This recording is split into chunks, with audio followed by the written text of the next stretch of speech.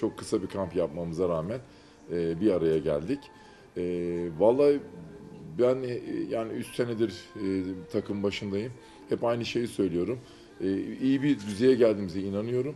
Ve e, her takımla da e, ha yenebiliriz, yeniliriz ama sonuna kadar 60. dakikanın sonuna kadar çok iyi mücadele eden bir takım oluşturduğumuza inanıyorum. E, ve kaybettiğimiz maçlara baktığımız zaman da iyi takımlar hep basit hatalardan e, dolayı maçları e, maalesef kaybetmişiz. E, daha iyi olmak için mücadele ediyoruz. E, ülkemizi iyi temsil etmek için elimizden geleni yapmaya çalışıyoruz. Eskişehir bir handball kültürü olan şehir. Zamanda iyi takımların olduğu Kılıçoğlu, Toprak Spor ve Eti Spor olmak üzere daha sonra Selkan ile beraber inanılmaz iyi bir seyirci profili ve handball kültürü olan bir şehir. E, biz burada kendimizi evimizde gibi hissediyoruz. Çok mutluyuz. E, son noktada oyuncularımız biraz da hani sıkıldıkları noktada e, dolaşabildikleri, gezebildikleri çok keyifli, küçük, e, güzel bir kentimiz e, Eskişehir. E, çok mutluyuz burada. E, maçları da burada oynamaktan büyük keyif alıyoruz. Gelirken de çok büyük keyifle geliyoruz. Yani ilk başlarda söylemiştim bu gruba e, çekildiği zaman kurallar. Biz daha kolay gruplara düşebildik ama e, denk bir gruba düştük. Slovenya hariç. E, Polonya gençleşti. E, yeni bir takım oluşturma sürecine. Hollanda'yı biliyorduk zaten. E, biz e, ikisiyle de başa baş oynayacağımızı ben söylemiştim ve Hollanda'daki maçı da kazanabilirdik dediğim gibi bir sayıyla kaybettik 5-6 sayı öndeyken. Yarınki maç da öyle olacak.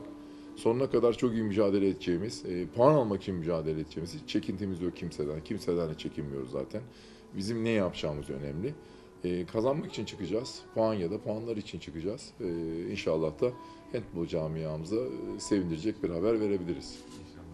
Ee, iyi bir jenerasyonuz, iyi bir ekibiz.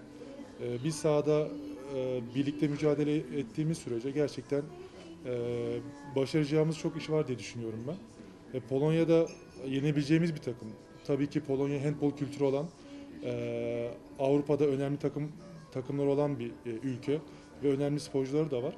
Ama bizim de e, son yıllara baktığımızda gelişen bir handbolumuz var, Türk handbolunda, e, erkek handbol olarak ve yurt dışında erkek sporcularımızın da sayısı e, arttı.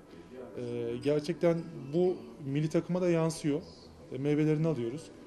E, yani şu anlamda Polonya'dan çok aşağı kalır yanımız yok ve başa baş geçecek bir mücadele olarak görüyorum ben.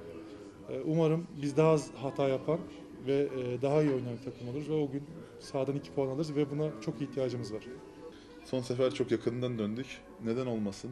Yani daha hiç olmadı ama ben bu kadroyla onu başarabileceğimize inanıyorum. Ve bunun için çalışıyoruz hep beraber. Tabii ki çok e, takımca hazırlama fırsatı bulamadık maalesef.